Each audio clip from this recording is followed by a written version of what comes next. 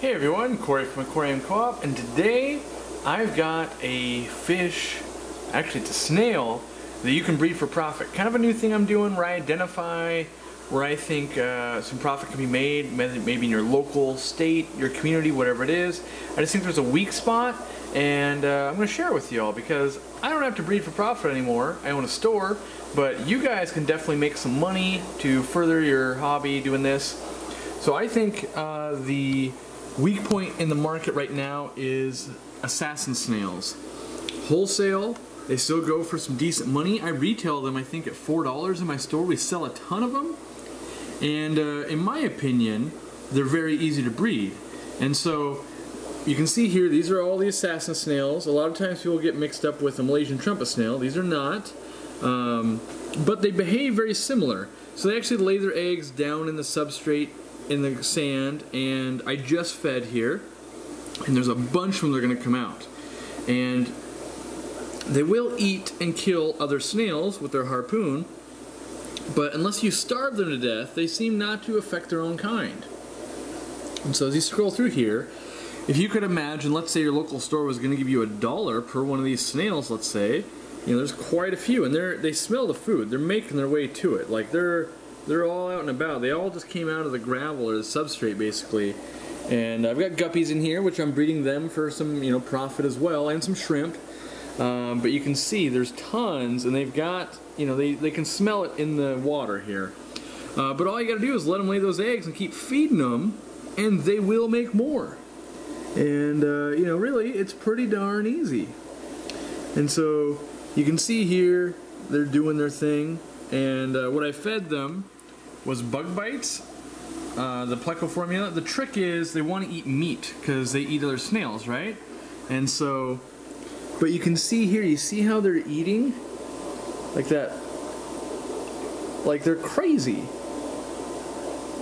These things are super weird.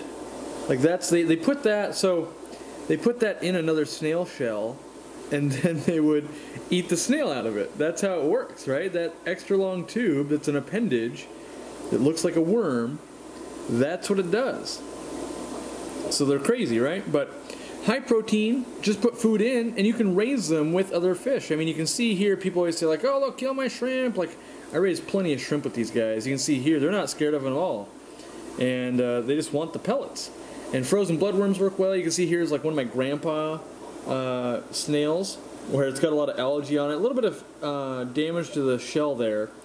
But, you know, at one point I let uh, calcium get too low in here, so I've got crushed coral, and if I really wanted to, I could do some some add-ons here, but you can really see these snails are coming out of the woodwork now uh, because there's food in here. And so I just, what I do is I harvest these and I bring them to my store and I sell them. But you guys could be doing this as well. There's no reason why you couldn't uh, be doing this. And they just create all these piles of snails and shrimp and guppies and uh, so yeah, you guys have been asking, what else can I breed, Corey? I've already done your normal tips. Well, there's my tip for you. Breed assassin snails. Uh, you, you, you, can ship them online, you can sell them to a local store. Maybe you just need some for your own tanks. That's really nice if I go, oh man, I got a snail infestation that I don't want. I just go grab a handful, throw them into another tank. Boom, I've got another breeding colony if I want them. I think they're super duper easy to breed and uh, I do nothing besides feed this tank. Literally nothing else. No special work or anything like that. And uh, good quality food though. That is important. Like most snails will breed off any garbage. Has to be high protein. A lot of times frozen bloodworms or things like the fluval bug bites, you can buy that on my website. But it, it does have to be really meaty. Otherwise it doesn't attract the, the snail. And you want them to, you know, basically think it's meat and eat it. They'll eat dead fish, they'll eat all kinds of things as long as it's really meaty. So hopefully that'll make you guys a little bit of extra spending cash to buy some more fish. And uh, let me know if you like this series. Leave a comment down below. Give it a thumbs up. If you don't like it, give it a thumbs down. And uh, yeah, check out my Breeding Fish for Profit series. We'll put a link to that. Subscribe if you haven't already. And uh, we'll see you in the next one. Thanks for watching.